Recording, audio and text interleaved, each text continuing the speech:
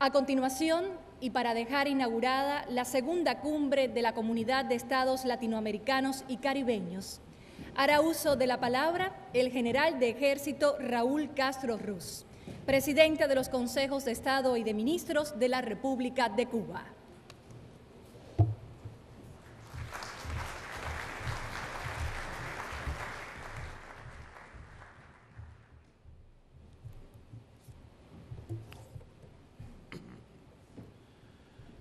Estimadas y estimados jefas y jefes de Estado o de Gobierno de la América Latina y el Caribe,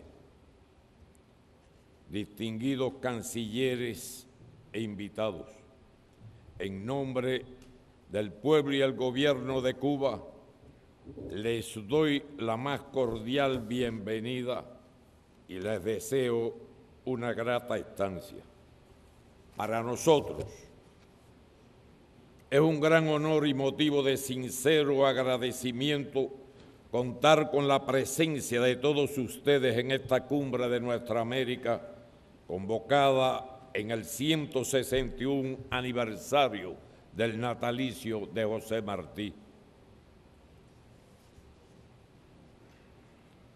Lamentamos profundamente la ausencia física de uno de los grandes líderes de nuestra América, el inolvidable presidente venezolano Hugo Rafael Chávez Frías, un ferviente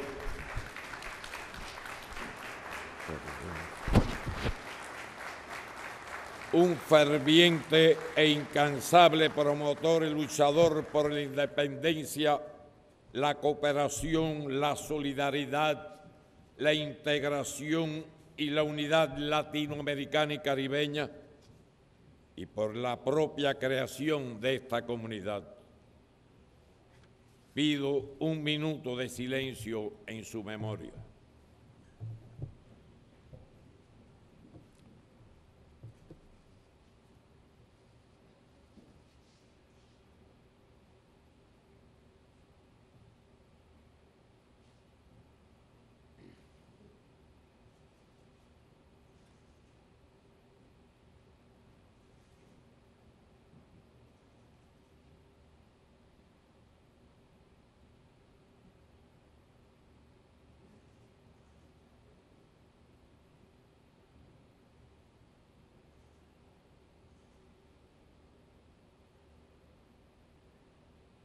Muchas gracias.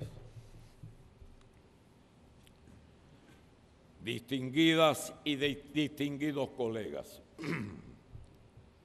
el periodo transcurrido desde la pasada cumbre de la CELAC ha sido complejo pero fructífero. Los países de América Latina y el Caribe hemos tenido que hacer frente a numerosos desafíos la crisis ha continuado afectando la economía mundial. Los peligros para la paz siguen presentes en varias partes del mundo y naciones hermanas han sido objeto de amenazas, medidas coercitivas unilaterales y demandas legales internacionales por las legítimas acciones que han adoptado en defensa de su soberanía. Sin embargo, hemos sido capaces de seguir avanzando en la construcción de la CELAC y en darle continuidad a las decisiones que acordamos en Caracas y Santiago de Chile. Poco a poco vamos creando una comunidad de estados latinoamericanos y caribeños que hoy se reconoce internacionalmente como representante legítima de los intereses de la América Latina y el Caribe. Igualmente, hemos, hemos ido acercando nuestras posiciones y a pesar de inevitables diferencias, se fomenta un espíritu de mayor unidad en la diversidad que debe ser el fin último. Como dije en Santiago de Chile, sabemos que entre nosotros hay pensamientos distintos, e incluso diferencias. Pero la CELAC ha surgido sobre el acervo de 200 años de lucha por la independencia y se basa en una profunda comunidad de objetivos. No es la CELAC, por tanto, una sucesión de meras reuniones ni coincidencias programáticas, sino una visión común de la patria grande latinoamericana y caribeña que solo se debe a sus pueblos. Debe ser primordial la creación de un espacio político común en el que avancemos hacia el logro de la paz y el respeto entre nuestras naciones, en que seamos capaces de superar los obstáculos objetivos y aquellos que intencionadamente se nos impongan, en que podamos utilizar los recursos de manera soberana y para el bienestar común y poner las capacidades científicas y técnicas en función del progreso de nuestros pueblos,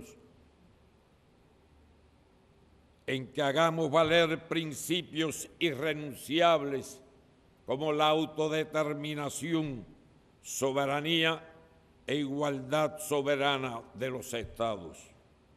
Solo así lograremos que deje de ser realidad el acerto de que la América Latina y el Caribe es la región más desigual del planeta. La presidencia pro tempore cubana de la CELAC se ha dirigido precisamente al cumplimiento de ese objetivo y de ahí que el tema central de esta cumbre sea la lucha contra la pobreza, el hambre y la desigualdad. Es cierto que durante los últimos años se han producido avances, pero han sido lentos, fragmentados e inestables. Según la CEPAL, a la que agradecemos su permanente cooperación con la presidencia cubana y los cinco estudios que ha elaborado en el marco de dicha colaboración, en América Latina y el Caribe, la tasa de pobreza alcanzó en 2012 como mínimo un 28,2% de la población, o sea, 164 millones de personas, y la de indigencia o pobreza extrema el 11,3%, lo que equivale a 66 millones de habitantes de la región. Pero lo más preocupante es la pobreza infantil, que afecta a 70,5 millones de niños, niñas y adolescentes. De ellos, 23,3 millones en pobreza extrema.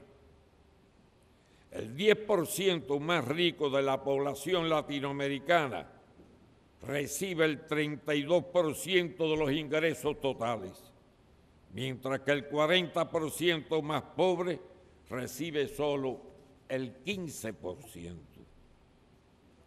Los pueblos de América Latina y el Caribe demandan y requieren una mejor distribución de las riquezas y los ingresos, el acceso universal y gratuito a una educación de calidad, el pleno empleo, mejores salarios, la erradicación del analfabetismo, el establecimiento de una verdadera seguridad alimentaria, sistema de salud para la totalidad de la población, derecho a una vivienda digna, el agua potable y al saneamiento.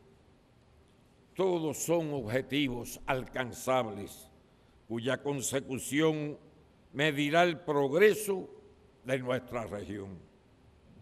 Tenemos todas las condiciones para revertir la situación actual con algo más del 15% de la superficie terrestre y el 8,5% de la población global, la región cuenta con un porcentaje apreciable de las reservas minerales no renovables más importantes, con un tercio de las reservas de agua dulce, un 12% del área cultivable, el mayor potencial mundial en la producción de alimentos y el 21% de los bosques naturales. Y precisamente esa riqueza debe convertirse en el motor para la eliminación de las desigualdades. Nuestro imperativo y desafío es ser capaces de transformar ese capital natural en capital humano, infraestructura económica y diversificación de la base productiva y exportadora, de tal forma que contribuya de manera decisiva a un verdadero proceso de desarrollo. Uno de los problemas que padecemos en América Latina y el Caribe es que no hemos traducido los periodos de altos precios de los recursos naturales que exportamos en procesos de desarrollo económico de largo plazo, de forma tal que permitan reducir realmente la pobreza y elevar el ingreso per cápita de nuestras poblaciones. Para ello debemos ejercer plenamente la soberanía sobre nuestros recursos naturales y plantearnos políticas adecuadas en relaciones con la inversión extranjera y con las empresas transnacionales que operan en los países que componen la CELAC. Son inagotables, innegables, perdón, los, beneficios de la inversión extranjera directa para la economía de la región y de las inyecciones de capital de las empresas transnacionales que operan en ella. Pero olvidamos que el crecimiento desmedido de las utilidades que obtienen, 5,5 veces en los últimos nueve años, afecta su impacto positivo sobre la balanza de pago de nuestros países. En materia de educación, la región enfrenta brechas significativas, tanto en términos del acceso como en la calidad, a la par que pervive la existencia del analfabetismo funcional, aunque con diferencias marcadas entre países. Si bien se han evidenciado progresos en la región en el acceso a la educación primaria, las informaciones de la CEPAL y la UNESCO dejan claro que este y la calidad de la formación que reciben los educandos está muy vinculada con su nivel de ingresos. La situación es más seria en la educación secundaria, no solo porque el 50% de los jóvenes entre 20 y 24 años no la concluyeron, sino porque solamente el 21,7 de los jóvenes del sector más pobre en ese grupo de edades la había terminado. En contraste, el 78,3% de sus pares del segmento más rico completaron este nivel de educación. Es decir, una brecha de 56,6 puntos porcentuales separaba en 2010 ambos grupos. En el caso de la educación universitaria es aún más compleja, pues de acuerdo con, estimaciones de la CEPAL, la matrícula para este tipo de enseñanza era en 2010 de un tercio de los jóvenes entre 18 y 24 años. Contamos con todas las posibilidades, los recursos y las metodologías para desterrar el analfabetismo de la raíz de América Latina y el Caribe. Debemos tener la voluntad política de hacerlo y de proporcionar a nuestras poblaciones la posibilidad de acceder sin excepciones ni desigualdades a todos los niveles de educación. Nada de lo que nos proponemos hacer será posible sin pueblos educados y cultos. La diversidad en el nivel de desarrollo de distintos sectores sociales y productivos entre nuestros países es, además, una oportunidad para la complementariedad y la integración de sus economías y la cooperación. Debemos establecer un nuevo paradigma de cooperación regional e internacional. En el marco de la CELAC tenemos la posibilidad de construir un modelo propio, adaptado a nuestras realidades, basados en los principios del beneficio común y la solidaridad, que tome en cuenta las mejores experiencias desarrolladas en los últimos años por los países de la región y por las organizaciones latinoamericanas y caribeñas de integración como Mercosur, ALBA, Petrocaribe, UNASUR, CARICOM, SICA y otras que a lo largo de los años ya han trazado un camino. Por otra parte, no podemos olvidar que los pequeños estados insulares en desarrollo del Caribe requieren una especial atención a sus problemas particulares, que se han agravado por los efectos de las crisis globales y el cambio climático, que si bien nos afecta a todos, tiene un impacto aún mayor sobre los países caribeños, cuyas economías decrecieron o crecieron por debajo del promedio regional en 2012.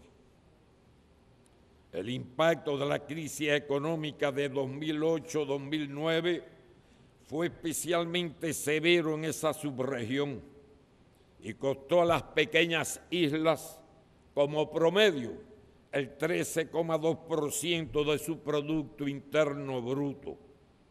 El efecto de, devastadores desastres naturales también incidió en esa realidad.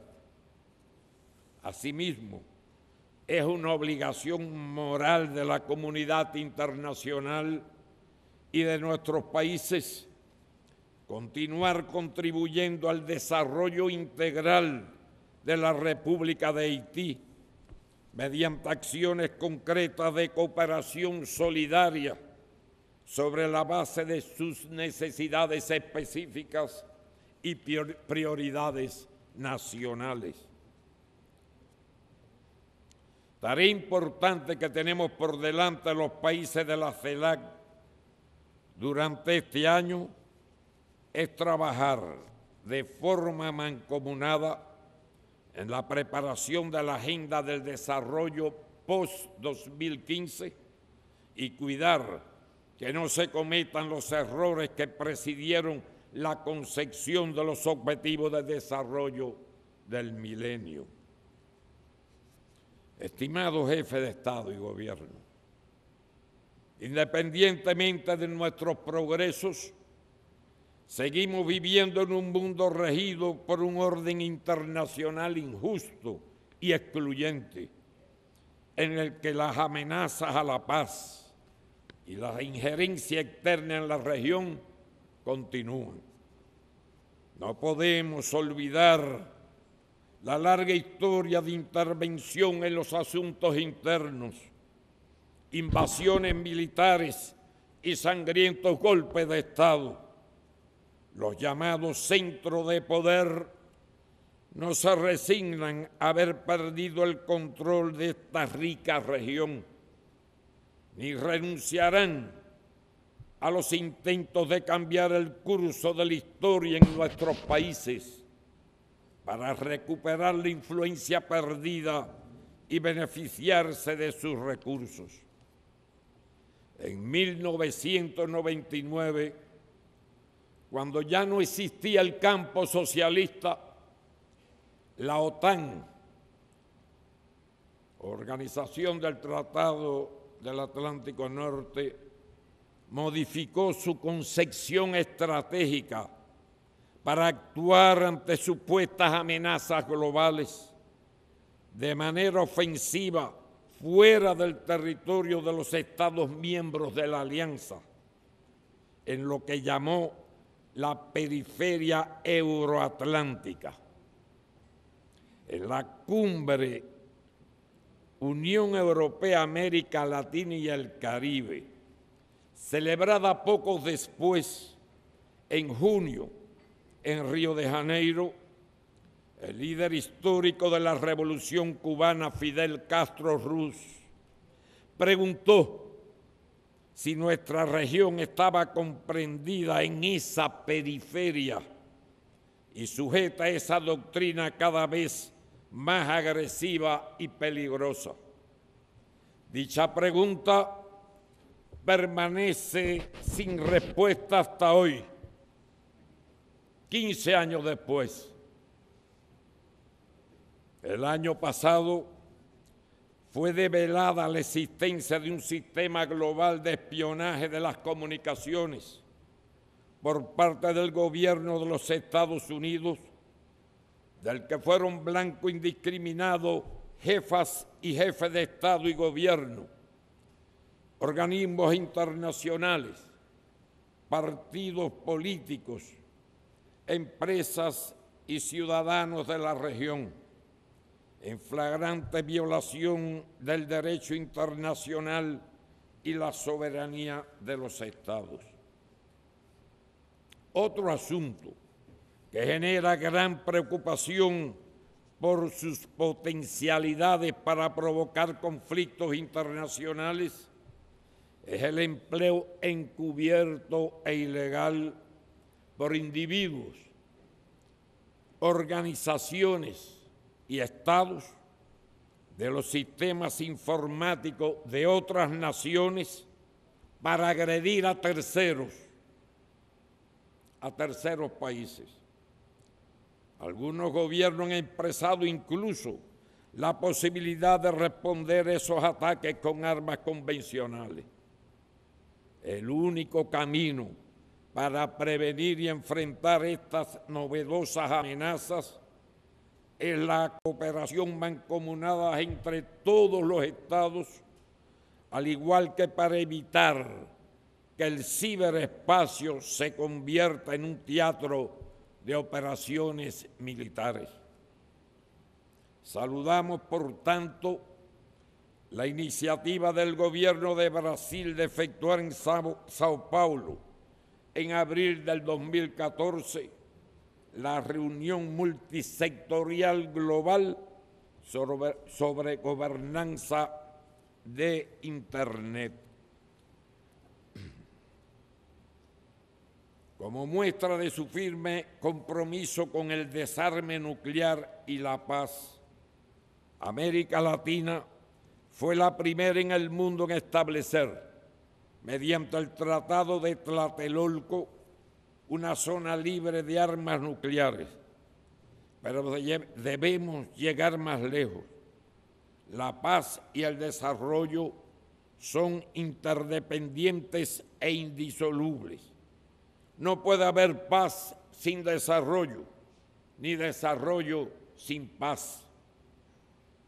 Por eso, nos hemos propuesto proclamar a nuestra región como una zona de paz que destierre para siempre la guerra, la amenaza y el uso de la fuerza, en la que los diferendos entre nuestros países se resuelvan por nosotros mismos, por vías pacíficas, y de negociación conforme a los principios del derecho internacional.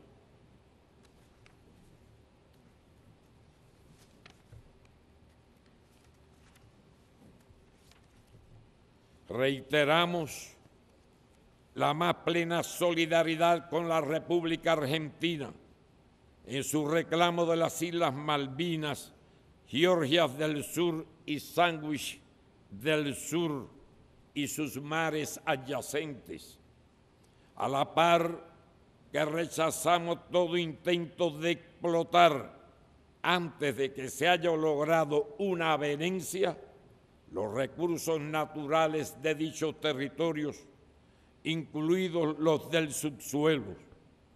Hacemos un llamado al Reino Unido a que acepte el diálogo y la negociación, tal como ha solicitado el gobierno argentino.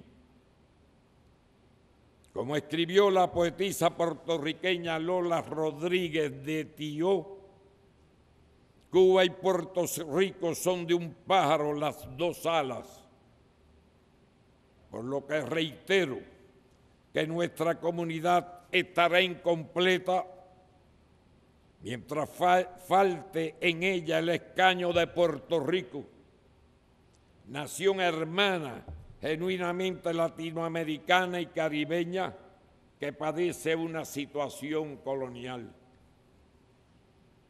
Transmitimos nuestra solidaridad al pueblo y gobierno de Ecuador, amenazados por demandas de empresas transnacionales en tribunales sesgados por la codicia y una visión política neocolonial. Agradecemos a todos la muestra de solidaridad ante el criminal bloqueo impuesto a mi país durante más de medio siglo y la injusta inclusión de Cuba en la lista de patrocinadores del terrorismo del Departamento de Estado de los Estados Unidos. Estimadas y estimados colegas, con mis mejores deseos de éxito en las deliberaciones que efectuaremos, y teniendo presente la enorme responsabilidad que compartimos hacia la unidad de nuestra región, declaro inaugurada formalmente la segunda cumbre de la Comunidad de Estados Latinoamericanos y Caribeños. Muchas gracias.